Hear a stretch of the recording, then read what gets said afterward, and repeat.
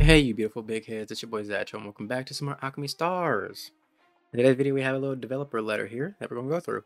Now, most of it is, you know, updates coming to the game, and some of it is just thanks to us for supporting the game. I love this game. I'm going to be supporting it until it dies. But anyways, let's hop on into it. Number one, a July 6th update, Ode to Lumopolis the Edge of Collapse. It kind of confirms that part two is coming right after this instead of there being the collab, then part two. So, there we go. We know that we're getting Joshua and Miss Rot right away after this current part, which is nice now. And then on top of that, uh, Spire will now have bonus prizes being given out.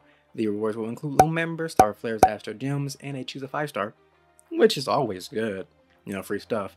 And then after they update navigators eligible for the rewards will receive them via mail. Number two, expect new story in September. So yeah, we'll get a new Aurorian obviously, and then it says a certain Illumina commander will get her wish and show a different side of her. Now the September Aurorian will probably be the, the guy with the hat, whoever that is. So he's a new Aurorian. And then when it comes to the Illumina commander, something people think is gonna be Wrath. But me personally, I think it's gonna be Sharona because her family did play a role, well, a key role in the you know current anniversary, the Cardamus, and she is the child of prophecy. So, and her wish is to save her family. But hey, oh well, save the family name. Everyone look at it. Save the Cardamus. What? To look at it, all right? Anyways, I feel like it's gonna be a Sharona altar. That's me. If y'all think it could be a, one of the other commanders, hey, put out your reason why. Number three, um, so Longzhu, they're pretty much saying there will be long, more Longzhu characters and costumes in the near future. Now we do know of two, Dong Tang, who is pretty much a fire selection tile converter, and then Lee, who I'm not really sure what Lee is. I'm gonna I'm not gonna say his entire name yet because I don't want to butcher it. But I'm not 100% sure what Lee is because Dong Tang's translations were easy for me, but then Lee's were just like I, I don't know. I, I don't know. his, weird, so I ain't gonna talk about that. But we're also gonna leave it at that because I don't know how much Tourdog cares about things that well aren't in the game being talked about. So we're just gonna skip forward a little bit. Number four, following the implementation of Desolate Codex, in the current version, we will try to offer more interesting game modes. So hopefully we see a secret territory update as well. But yes, I'm all for game modes, you know, more interesting ones being added. Hopefully they add even more harder content so more longtime players can, you know, have even harder challenges. I mean, introduce some real serious power creep so people have something to look forward to as well. Because many people's main gripe is day one characters can beat all content even up to this point in the game which is kind of crazy to even say, you know. But there's no real serious power creep in the game yet, so this could be them alluding to actually, you know, finally power creeping. Number five is new art for characters. Specifically, Vice will see some, you know, updates in her art, and but then they also go to say that other ruins will get upgrades.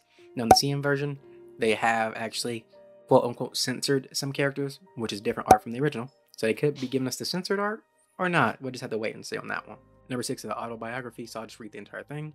We are also improving the visual features for the game, including higher resolution and graphic display for Aurorians and interfaces, while fixing certain lags and problems with overheating mobile devices.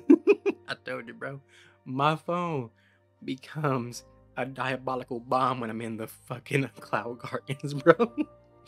and my phone is not bad. but anyways, uh, let's keep it going. In the meantime, UI pages will see an overhaul as we attempt to revamp most of them. We'll retool pages that are more complicated to navigate or pages with complicated info or inconvenience use experience, such as the main screen, quest screen, recruitment screen, etc. to make UI easier and clearer to comprehend. Such improvements will be realized shortly. So yeah, we'll see how this whole overhaul goes. I mean, we'll just have to wait and see, honestly. And then number seven, so many people were complaining about this and they're doing something about it. They're going to enhance the visual effects for Azur's Tipsy, Whimsy, and Carlene's Fluffy Serendipity costumes. I didn't know people was even complaining about Carlene's, but I guess they looked at it like, I guess we can enhance these as well. But there you go. They do listen. People were complaining about it and give them a little bit of time. They're like, all right, well, we'll fix it up. We just had to get other things done, you know? See, we wrote it down in our notebook. We just had things that we had to do right now and then we can get back to it. So look, they listen. Anyways, that's pretty much all there is here. Um, they are thankful for the memories we all shared and uh, all the support. I honestly think Alchemy Stars could use an anime because I think this, I think the story's pretty good. But I'm gonna be honest, I think the story's pretty good, and like once you really get into it, it it it, it gets really good. And then some of this, you know, event stories are really good as well. Either an anime or they just need to go back and just start animating some of the story parts just so people can more easily digest the story of Alchemy Stars, because not many people want to sit down and just honestly read text, I'm gonna be honest. But it isn't what it is on that front. So anyways, I hope you enjoyed the video. Like, comment, subscribe, all that ish. I will see you on the next one.